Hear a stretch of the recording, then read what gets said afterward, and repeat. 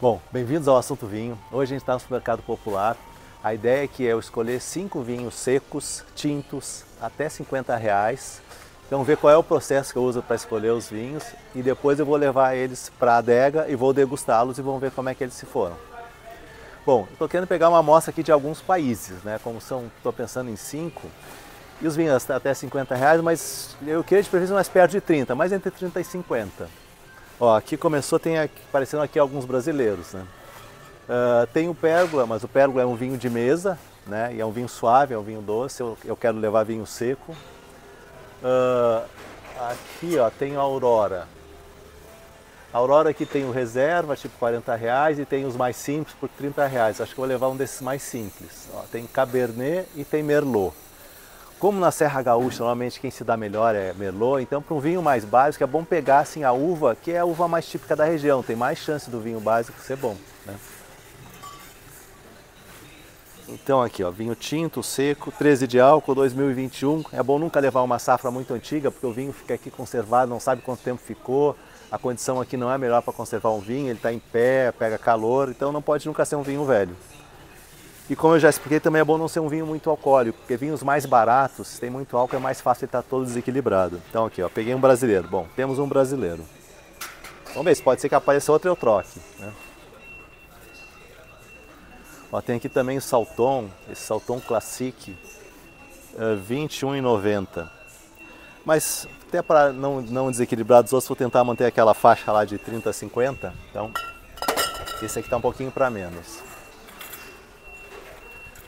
Ó, agora que a gente chegou nos europeus. Europeu vai ser, é mais difícil, ele chega aqui mais caro, é um pouco mais difícil comprar um vinho europeu nessa faixa de preço, né, que tem a qualidade. Ó, vamos ver aqui, ó. E eu sempre vou tentar comprar assim, entre se eu não conheço o vinho, pelo menos tentar um, um produtor que eu conheça, que eu acho que tem menos risco quando escolhe eles. Então, ó, aqui, ó, Casal Garcia, 2021, 13 de álcool, meio seco. Meio seco quer dizer que ele é docinho, então tá fora aqui do que eu estou querendo, estou querendo vinho seco. Tem o periquita, famoso aqui, ó, periquita reserva, mas está R$ reais, está fora, né? Ó, aqui temos um espanhol, Coronas Tempranilho Torres, 2019. 2019 também eu vou deixar de fora. Já tem 5 anos de idade e eu acho que já é muito para a gente levar ele aqui.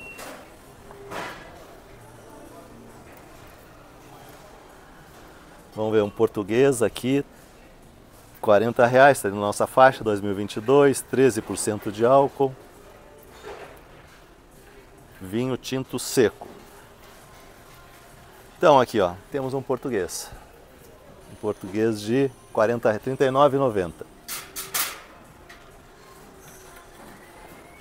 O italiano aqui a gente passou pelos italianos, mas aqui por 80, 90, 70 reais é, não tem aqui italiano na nossa faixa de preço. Como eu falei, europeu é mais difícil de encontrar nessa faixa de preço. Ó, chegando no Chile aqui.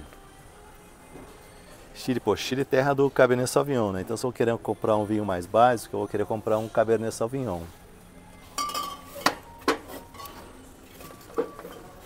E tem um negócio estranho aqui na tampa, mas estou achando que é assim mesmo. Não sei se é um defeito ou não.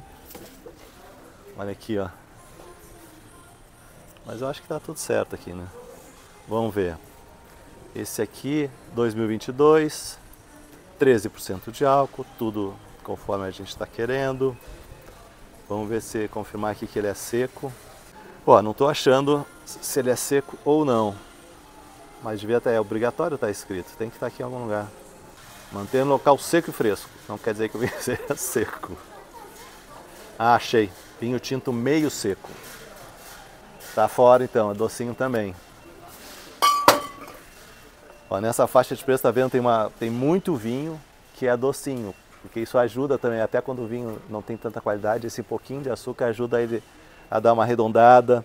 Ele acaba, às vezes, melhorando com esse pouquinho de açúcar. Ó, 120. É um vinho bem conhecido, né? Da Santa Rita.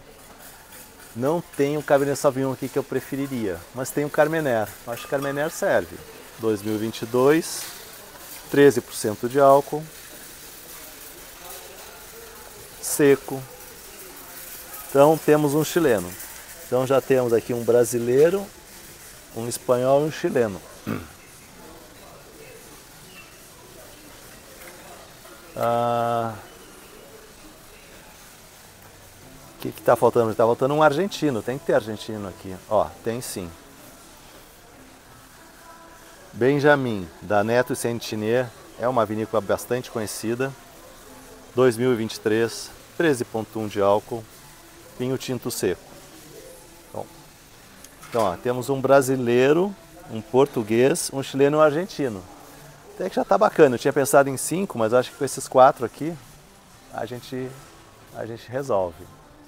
Vou dar mais uma última checada. Aqui já estou chegando os vinhos brancos, então vai para cá. Bom, gente, então agora eu vou lá, vou pagar os vinhos, levar para casa e vamos ver o resultado da degustação. De volta aqui à adega, já estou aqui com os vinhos, os vinhos já foram resfriados. Antes de começar a degustação, eu só queria dar um resuminho das coisas que eu prestei atenção lá para escolher esses vinhos. Então, primeira coisa, eu queria falar, tenho, a gente tem outro vídeo que é só focando nessas dicas, então explica com um pouco mais profundidade essas dicas. Chama Dicas para comprar vinhos no mercado. Bom, mas basicamente são cinco dicas que eu dou lá e que eu usei hoje. Uma, evitar vinhos muito alcoólicos. Uh, esses vinhos mais econômicos, normalmente eles têm dificuldade para serem equilibrados se eles tiverem muito álcool. Então eu prefiro vinhos com menos álcool. Então a gente viu aqui os vinhos todos têm tipo 13%. Né? Vinhos do Mercosul pagam menos imposto, então eles acabam chegando com um custo-benefício melhor aqui. Né? Por isso até que a gente viu lá só conseguiu comprar um europeu, não consegui comprar. Eu queria até um italiano, um espanhol, não consegui encontrar lá nessa faixa de preço. Né? Todos os vinhos aqui estão na faixa de preço de 30 a 40 reais, nesses né, quatro vinhos. Segundo, sem preconceitos com brasileiro. A gente pegou um brasileiro, vamos ver como é que ele vai. Né? Uh, e prefira uvas típicas de cada região. Por exemplo, vai pegar um brasileiro lá da Serra Gaúcha, qual é a uva mais típica lá? Merlot. Vai pegar um chileno, qual que é a uva mais típica? Cabernet Sauvignon ou Carmenère. Um argentino, Malbec. Né? Então foi assim que a gente escolheu os vinhos. E última, último ponto é assim, evite safras mais antigas. Tente sempre comprar safras bem recentes desses vinhos. Por quê? Porque ele fica armazenado lá em pé, ah, às vezes vai pegar calor, então o vinho vai envelhecer mais rápido, então evite safras mais antigas. Bom, Agora vamos falar dos vinhos. Eu quero falar rapidamente de cada um dos vinhos que eu selecionei, né, mostrar a ficha técnica deles. Então, o primeiro é o Aurora Merlot Varietal. Bom, é produzido pela vinícola Aurora, lá no Rio Grande do Sul, lá na Serra Gaúcha. Ele é 100% Merlot, 13% de álcool, fica seis meses em barrica de cavalo francês. Não é usual para um vinho econômico assim passar em barrica de cavalo francês. Com certeza são, são barricas novas, são barricas velhas, mas mesmo assim elas acabam sendo importantes para o vinho. É raro num vinho desse preço passar seis meses em madeira. Né? As notas do produtor. É a fruta madura, frescor agradável, entendo então que tem uma boa acidez, né? Falar que tem um bom corpo e paladar aveludado. Melô no gel já é um vinho redondo, né? Ele está salientando isso, esse paladar aveludado quer dizer é um vinho redondo que não tem arestas de tanino, de acidez, assim, nada em excesso, está tudo equilibrado e redondo. Paguei por ele R$ 31,90. Aqui vocês veem a ficha técnica dele, a original. E vamos para o próximo vinho. O próximo vinho é o Alandra. Alandra é o vinho português, da herdade do Esporão, lá em Portugal. Né? Uh, as uvas são Castelão, Trincadeira, Toriga Nacional e outras, é assim que está descrito. Castelão se eu não me engano, é a uva daquele periquita, né? Famoso. Uh, trincadeira e Toriga Nacional. Toriga Nacional é, hoje é considerada a uva mais nobre lá das uvas portuguesas. Né? Então, bela combinação aqui. Também 13% de álcool. Uh, notas do produtor. Rubi, quer dizer, a cor rubi, vermelha, né? Fruta jovem e vibrante, quer dizer, então não esperaria uma fruta muito madura, fruta mais fresca. Frutos silvestres, né? Então aquelas berries aqui, morango, cereja, framboesa, uh, elegante, com boa estrutura e taninos finos. Elegante, eu diria então, é, também é um vinho redondo, né? um vinho mais delicado, uh, boa estrutura, boa estrutura seria tanino e acidez. Então ele está dizendo que mesmo com boa estrutura ele consegue ficar elegante. Taninos finos, né? então não espere um vinho muito adstringente, né? vai ser um vinho redondo. Todos esses vinhos mais econômicos, para ele ter a qualidade deles não está na exuberância, a qualidade deles está no equilíbrio, a qualidade deles está em ser redondo, né, ser bem feito. Esse é um vinho que custou aqui R$ 39,90. Como eu falei, todos estão entre 30 e 40, então todos na mesma faixa de preço. Próximo vinho, Benjamin Malbec 2023. O Benjamin ele é produzido na Argentina pela Neto Senetiner. Uh, ele é 100% Malbec, tem 13,1 de álcool, então todos aí no álcool estão pertinho de 13%, né? As notas do produtor, cor vermelho granada, então vermelho, fala aqui que é intenso. Aromas de ameixa madura, compotas de frutas vermelhas. Então veja, o anterior falava em fruta fresca, esse aqui está falando de fruta bem madura, né? Elegante, equilibrado, como a gente já falou, taninos suaves, final longo. Final é quanto tempo a gente fica sentindo os aromas do vinho depois que a gente engole um vinho, né? Uh, vinhos de qualidade têm um final longo. Um vinho econômico desses, provavelmente o final, ele está falando que tem um final longo, né? Deve ter um final acima da média aqui, mas difícil ter um final longo demais também, senão esse vinho era bem mais caro. Preço que eu paguei por ele, R$ 34,90. O quarto e último vinho aqui que a gente vai ver é o 120 Reserva Especial. Carmener. É produzido pela Vina Santa Rita, fica lá no Vale Central do Chile. Esse é um vinho que ele é 85% Carmener e 15% Syrah. Tem 13% de álcool. Ah, deixa eu falar uma coisinha. 85, por que, que fala que ele é Carmener se ele só tem 85% de Carmener? Tem 15% de Syrah, que é uma outra uva. Bom, para um vinho, por exemplo, no Brasil, no Brasil para um vinho ser considerado varietal, que pode colocar apenas uma uva no rótulo, ele tem que ter mais do que 70% daquela uva. Esse aqui tem 85%, então pela legislação do Chile, pela brasileira, é permitido que ele coloque que é um Carmenere, embora tenha 15% de Syrah. Por que, que eles fazem isso? Porque eles querem agregar qualidades da Syrah a esse vinho. Né? Syrah é um vinho encorpado, cor forte, né? eles querem então dar um pouco mais de presença aqui para esse vinho. Tem 13% de álcool, notas, aromas de frutas vermelhas, negras e especiarias como a pimenta. Pimenta que ele está falando, então deve ser a pimenta do reino. Taninos suaves, vinho amigável. Vinho amigável, eu entendo que o vinho é redondo, é equilibrado, aquilo que a gente falou antes. Preço, R$ 34,90. Bom, gente, agora eu vou chamar aqui a Tati, que ela vai nos ajudar, que ela vai preparar a degustação às cegas. Então eu não vou saber qual é qual eu estou bebendo, para não ser influenciado. E depois vamos ver o que, que eu achei de cada um desses vinhos. Legal? Tchauzinho. Bom, vou colocar aqui os corta-gotas e vou pôr numa ordem aleatória para fazer a foto para o Júlio não, não desconfiar. Mas uma coisa que eu vou chamar a atenção, é legal para depois eu vou, vou pedir para o Júlio comentar sobre as rolhas. Uh, uma delas claramente é sintética e as outras me parecem rolhas normais. Não sei se são ou se são aquelas que são mistas, né? Depois ele fala um pouquinho sobre isso. Então vamos lá, vou colocar os corta-gotas.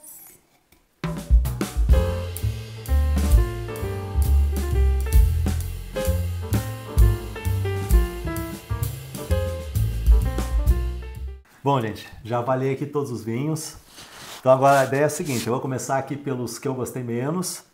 Uh, aí eu vou descrever cada um deles e aí a Tati vai dizer que vinho era Quem esse. É? Né?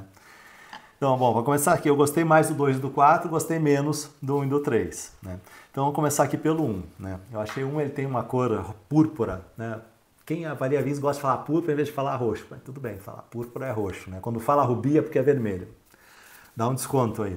Bom, então tá. Então é púrpura, a cor bastante assim acima da média de intensidade. Gostei da cor do vinho, né? A parte aromática dele, muita fruta negra, né? Então, fruta negra, o que, que são? Aquela, aquela mora negra, ameixa preta, jabuticaba, esse tipo de fruta, né? Achei que ele tem bastante pimenta do reino. Uh, achei até que tem toquinho de madeira. Embora nenhum desses vinhos passe na madeira, eu fiquei com essa impressão aqui, né? Aromaticamente, ele é médio, normalzinho, nada demais, não se destaca nem para um lado nem para o outro, né? Uh, e achei que ele tem uma acidez acima da média. A maioria dos vinhos aqui eu achei bem ácido, né? Uh, até assim, quando esse tipo, esses vinhos de, de, mais econômicos, o cara tem que produzir muita uva em cada pé de uva. Então é difícil a uva ficar muito concentrada, muito madura, então é normal até esses vinhos não terem problema de acidez, né? Se tivesse acidez baixa seria um problema, aqui não tem problema de acidez. Né? Achei que ele tem um pouquinho de amargor no final. E aí ficou devendo para mim. Achei que ele, então ele e o, e o número 3, vocês vão ver, ficaram um pouquinho abaixo dos outros dois. Qual que é esse vinho, o número 1? Um? O 1 um é o... Um é o Malbec Benjamin. da Neto Senetner. Bom, então, esse aqui acabou perdendo um pouquinho para os outros. É, esse para mim foi o terceiro. Eu achei a acidez dele me incomodou um pouquinho, assim, tirou ele do contexto para mim. Depois tem outro para mim que também ficou um pouco abaixo, que é o número 3, que também achei uma cor púrpura roxa assim bacana, um visual com mais, com mais intensidade assim. Esse aqui eu já achei com fruta vermelha bem mais fresca, assim. Então é uma fruta que não é tão madura, morango, cereja, né? Uh, mas achei ele o menos aromático de todos. Para mim ele era o mais fechado desses vinhos, o que menos tinha potência aromática, né? Uh, e achei... ele tenha melhorado assim depois de um tempo aberto, né? Mas é, é um menos pode ser, potente. Normal. E achei que ele tem um tanino acima da média, mais tanino que os outros. O tanino é aquele, aquela astringência aqui na boca, tipo quando a gente come uma banana verde, aquele negócio que amarra a boca assim, né? Eu achei que ele tem mais que os outros e não é um tanino tão gostoso assim. Eu acho que esse, esse aqui perdeu pontos para mim por, por conta disso. Então não é um vinho tão redondinho uh, como os outros, né? Uh, precisava um pouco mais de equilíbrio, um pouco menos desse, desse tanino, ou o tanino está um pouquinho mais maduro, né? Se o vinho, escolher a uva um pouquinho antes é bom para acidez, para o tanino não é tão bom assim, né? Qual é esse vinho? Número 3. É este. O português. O Alanda, da Herdade do Esporão. O rótulo que eu não achei tão bonito. Os outros eu gostei mais. Esse é meio feioso, eu achei. Agora vamos para os dois que eu gostei mais. Então sobraram aqui o chileno e o brasileiro. O número 2, ele tem uh, uma cor meio rubi, meio púrpura, então não é tão roxo como os outros, né? Uh, achei bastante fruta vermelha doce, marmelada, uh, um pouquinho de goiaba, pimenta do reino, cravo, aromas que normalmente me levam para o Chile. Maravilhoso esse. Ele eu achei esse o mais encorpado dos, dos quatro, né? Foi o que a Tati foi o favorito da Tati, foi esse vinho. Favorito. Né? Uh, vamos lá, qual que é? É o, é o chileno mesmo? É esse. É, é o chileno.